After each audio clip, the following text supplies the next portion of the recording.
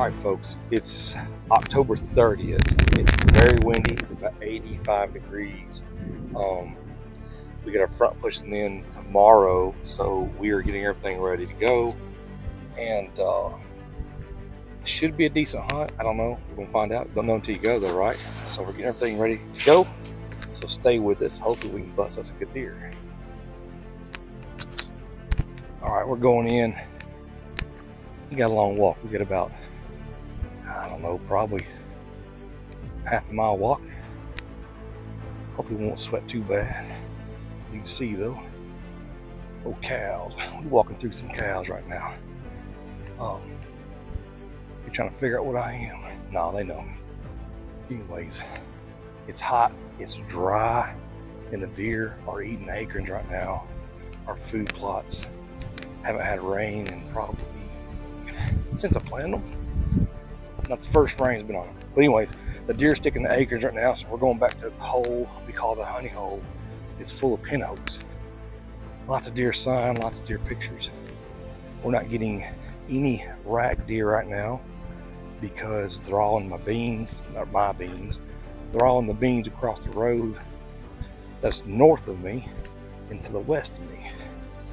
Once they cut those beans, it's like every year, it's like clockwork. I start getting deer back in here. But we got some local does, if I call them. They stay here on this farm. They never come off of it. And one of them's the double throat patch.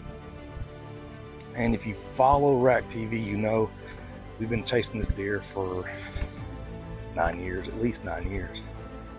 Anyways, I've sons had opportunities, and she's busted them. I had a buddy of mine had an opportunity at her, and his gun jammed. And then every bow hunting her, every time I've had an opportunity every time she has busted me. Every time. She nails me. So, but she showed up on camera. I figured she'd die this year, but she's still alive. She's got pictures of her a couple days ago. So she's back up. So hopefully we can take her. It'd be a great management deer to get off the property. I'd love to get her off because she, she's a big bully. So we're walking in. Hopefully we can make it happen.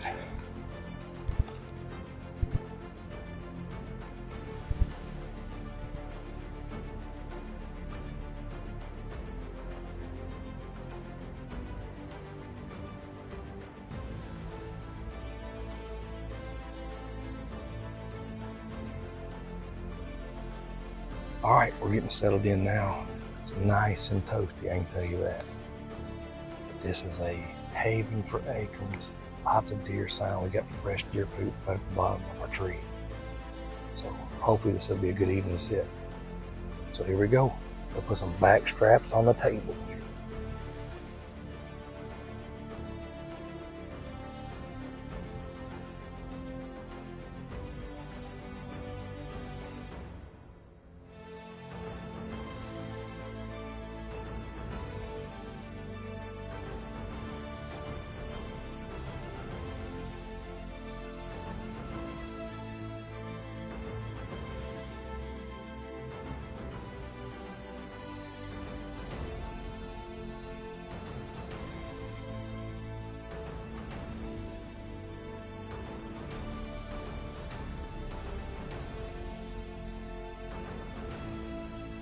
All right.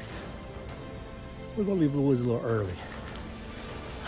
You know, I try to walk through the woods as quiet as I can. You don't want to disturb nothing. You want to keep everything like it was. It's hard to do it though when something's following you.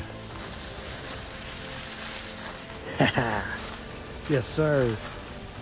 Back straps for dinner, baby.